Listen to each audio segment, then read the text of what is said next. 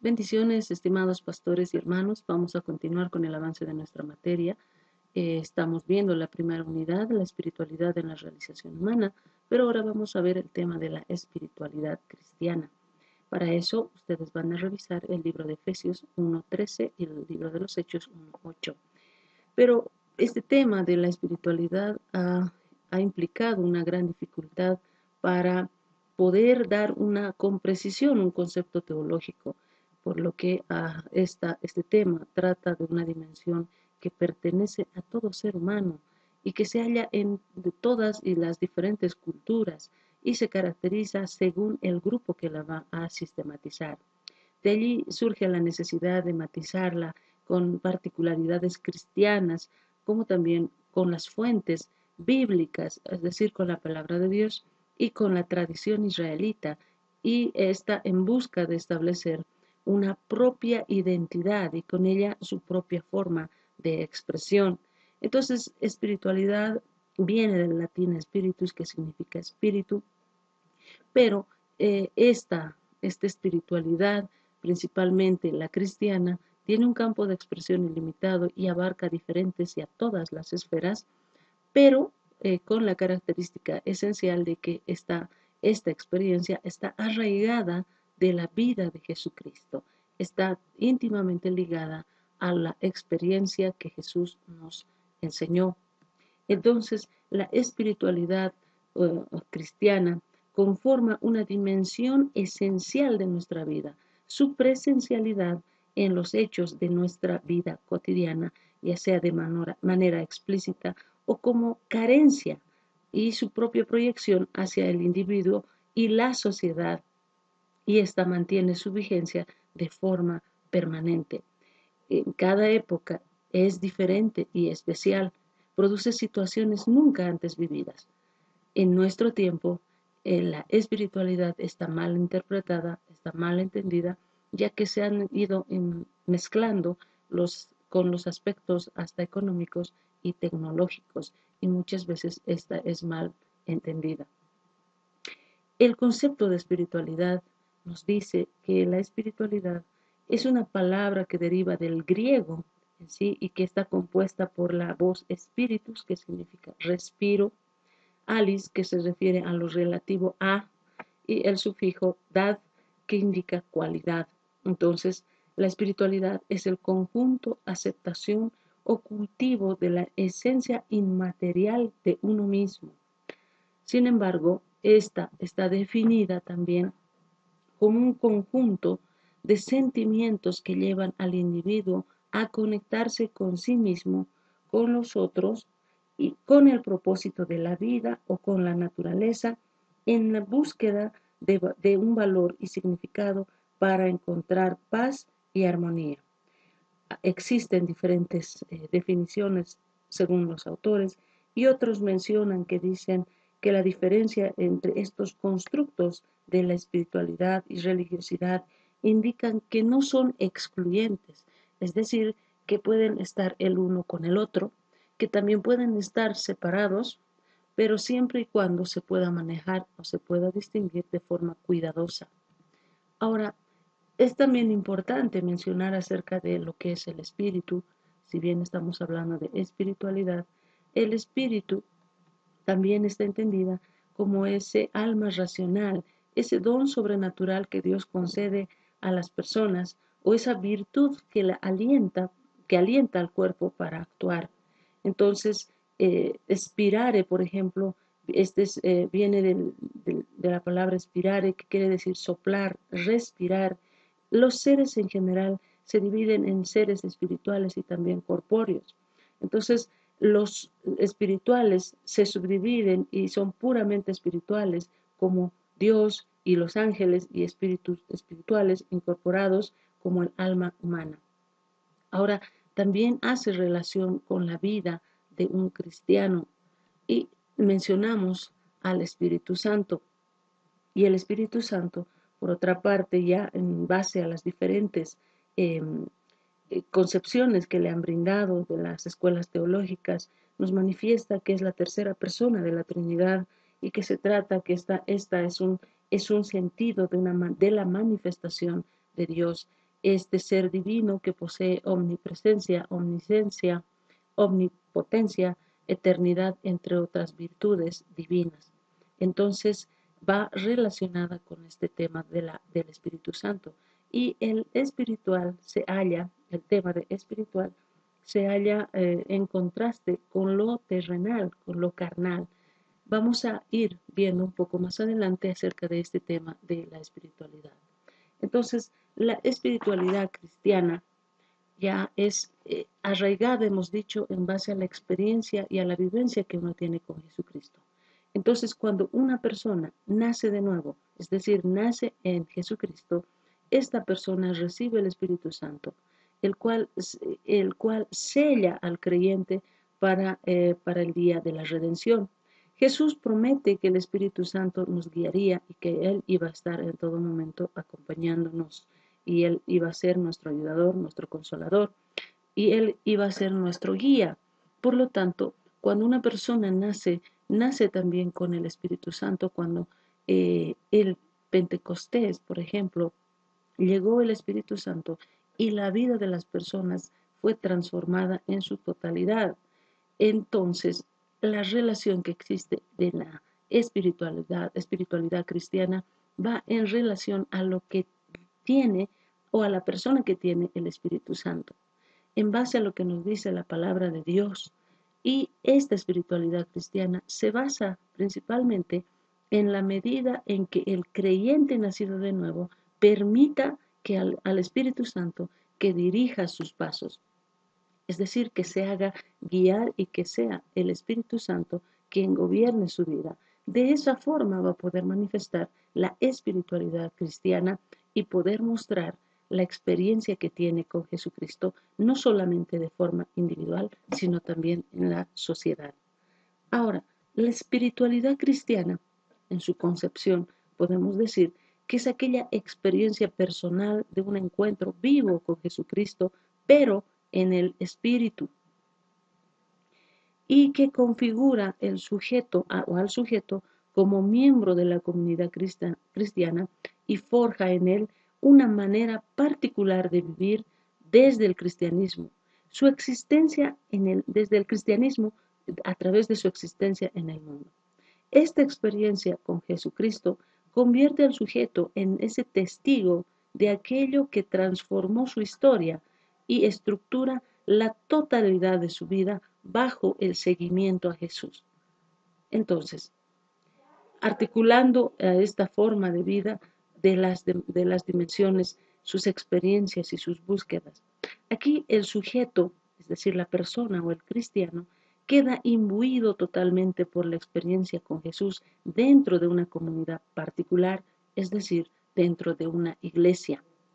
Entonces, la manera de vivir del, del, cristiano ya se convierte totalmente a través de Jesucristo, del seguimiento de Jesucristo a través del Espíritu Santo. Por eso mencionábamos la relación que tiene el Espíritu y también el Espíritu Santo. La espiritualidad cristiana implica pertenencia de la comunidad, es decir, que como cristianos nosotros debemos mostrar la espiritualidad cristiana. Y como vemos en la fotografía, usted cuando ve, muestre, tal vez vea su, la gente vea su rostro, vean a Jesucristo reflejado en usted a través de su forma de comportamiento, a través de su forma de vida. Ahora, hemos visto también que es necesario eh, establecer los elementos que constituyen a una espiritualidad, es decir, que la manera de vivir debe estar acorde a los valores evangélicos, que debe implicar el camino constante que esté trazado por esa tradición apostólica o por lo que dice la palabra de Dios, en donde la dirección y la meta están en una constante todavía no, en una virtud de ser partícipes de un pueblo y en la espera de la llegada de los cielos nuevos y de la tierra nueva es decir, que todavía nos falta y debemos prepararnos. El concepto bajo el cual se acoge esta, esta mm, manera de vivir es el seguimiento a Jesús, pero principalmente orientado por el Espíritu Santo. Este es capaz de identificar los signos de los tiempos, las guías rectoras de cada época, es decir, que también está en base a lo que nos dice ese principio de renovación, que el tiempo cambia, que la vida se transforma, que los tiempos se modifican, pero nosotros debemos aplicar también este principio de renovación.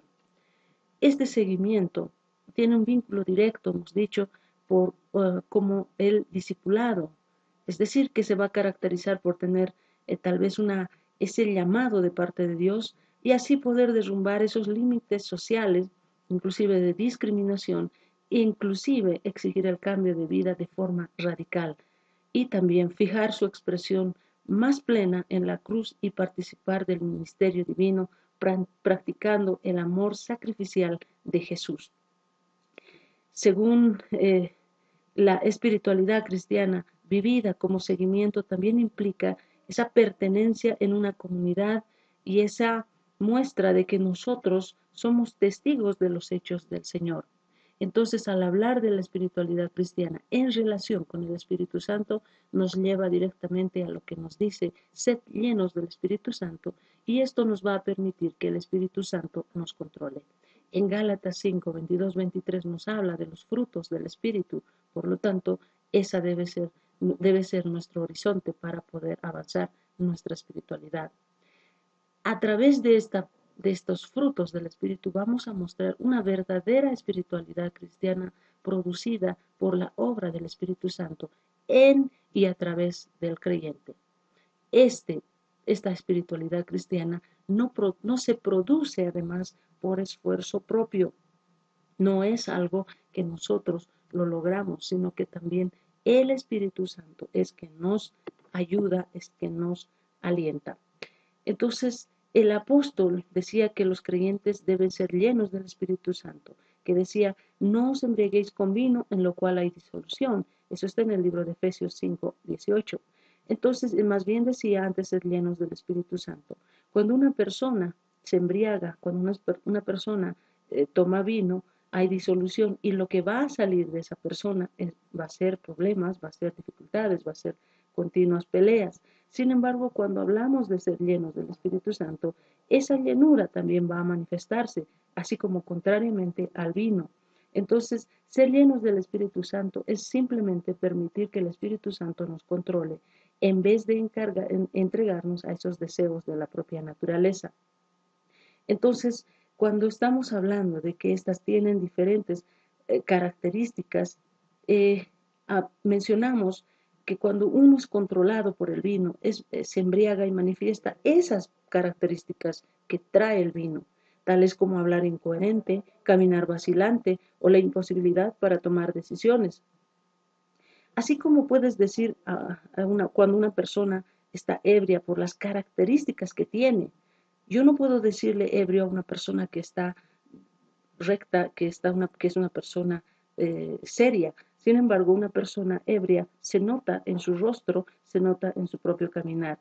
Así, cuando un creyente nacido de nuevo, que es controlado por el Espíritu Santo, también va a mostrar esas propias características. Y a eso se refiere la espiritualidad cristiana. Entonces, donde hablamos del fruto del Espíritu Santo, hablamos que esa es la verdadera espiritualidad en la que se va a mostrar su espiritualidad y en ella se va a encontrar su forma de hablar, su forma de caminar espiritual, pero también consistente con su propia vida y con las, la toma de sus decisiones basadas en la palabra de Dios. Por lo tanto, la espiritualidad cristiana implica una elección que hacemos para conocer y también para crecer. En nuestra relación cotidiana con el Señor Jesucristo es sometiéndonos al ministerio del Espíritu Santo, es decir, una relación cotidiana con el Señor, una, una, una conexión totalmente arraigada, es decir, totalmente unida al Señor, pero sometiéndonos bajo el Espíritu, bajo el ministerio del Espíritu Santo en nuestras vidas. Ahora, acerca de la espiritualidad cristiana, también hemos mencionado que es una consistencia o es una conciencia de la comunión con el Espíritu de Cristo que no es interrumpida por la carnalidad y el pecado. La espiritualidad cristiana se desarrolla cuando un creyente nacido de nuevo hace una consistente y continua elección de rendirse al ministerio del Espíritu Santo. Pero aquí también tenemos que entender que existe la espiritualidad humana y la espiritualidad humana no es la misma que la cristiana. Y esta es definida como la conciencia de una parte de nosotros que, que no se manifiesta materialmente y que está ligada a algo superior eh, como a todos los seres vivos. Todos tenemos espiritualidad, pero no se puede mm, confundir con la espiritualidad cristiana. Ahora, la espiritualidad en la religión también juega un papel muy importante y se trata de lo siguiente. La espiritualidad en la religión es, es ese dirigir la vida y desarrollar y ese desarrollo espiritual según las enseñanzas y normas de un Dios o un profeta. Entiéndase que Dios está con minúscula, puesto que puede ser cualquier Dios. La espiritualidad cristiana, por ejemplo, tiene como base el fundamento las enseñanzas de Cristo y también de los discípulos. Sin embargo, la espiritualidad en la religión simplemente son o basadas por las enseñanzas de normas o de un Dios. En cambio, en la espiritualidad es un valor positivo y, superior que va a determinar un comportamiento coherente con los valores morales y también éticos. Entonces, la espiritualidad tiene mucha importancia en, el, desarrollo de las personas porque su relación se basa también en, la, en el respeto o en el nacimiento a cierto respeto a las personas. En, en, la Biblia encontramos diferentes textos que nos habla acerca del amor de Dios, pero en el libro de Marcos 12, los versos 30 y 31, Jesús nos deja un nuevo mandamiento que debemos amar a Dios por sobre todas las cosas, pero que también debemos amar al prójimo. Y en base a ese verso, nosotros entendemos que la espiritualidad es un valor positivo, que es una cualidad que va a determinar en la mayoría de los casos un comportamiento coherente con los valores humanos y éticos que van a ayudar al desarrollo espiritual. Entonces, cuando leemos este verso del amor al prójimo, que debemos amar a Dios y también al prójimo, estamos entendiendo que mi persona, que mi espiritualidad cristiana debe afectar de manera positiva la relación con las otras personas. Es inconcebible que mi relación con Dios sea perfecta y mi relación con el prójimo o con el próximo tenga tanta dificultad, ya que esta dificultad va a generar y va a afectar mi vida espiritual. Entonces, si yo tengo una excelente relación con Dios, pero estoy peleado con la sociedad, estoy peleado con el mundo y tengo mucha dificultad con los demás, este mal accionar en la sociedad lleva también al fracaso con de mi relación con Dios. Entonces, este amor al prójimo, ese gran mandamiento, es expresado en el manejo de nuestras relaciones humanas. Este gran mandamiento de vida nos muestra que debe ser llevada de forma armoniosa, no solamente con Dios, sino también con la sociedad. El amor al prójimo va a expresar mi espiritualidad cristiana y lo voy a expresar a través de mis relaciones humanas.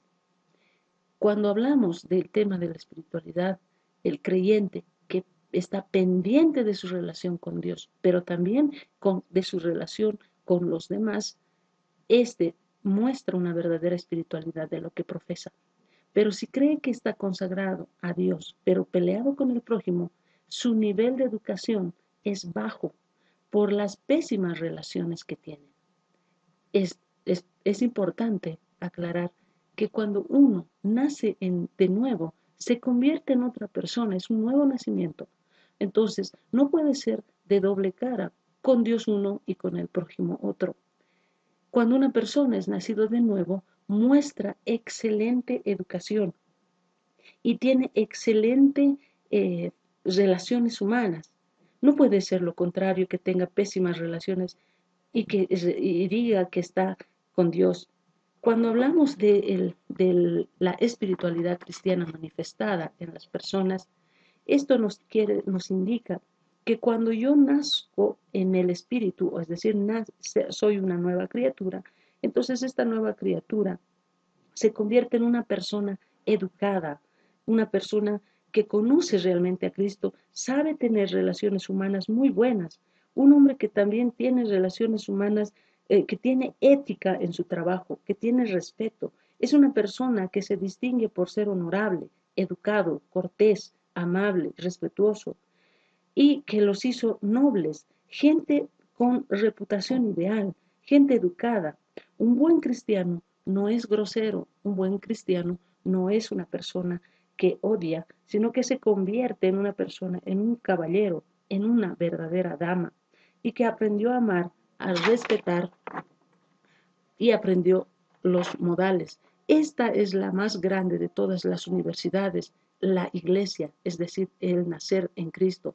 En todas las e, este tema de la espiritualidad humana, cuando una persona nace, ya posee esta persona al Espíritu Santo y este Espíritu Santo es que le va a guiar su forma de espiritualidad. Pero también hemos dicho que este tema consiste en elegir y decidir lo que yo voy a hacer.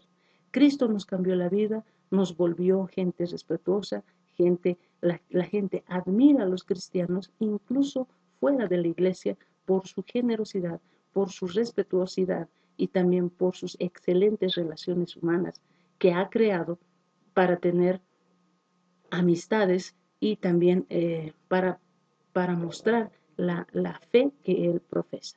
Que Dios los bendiga.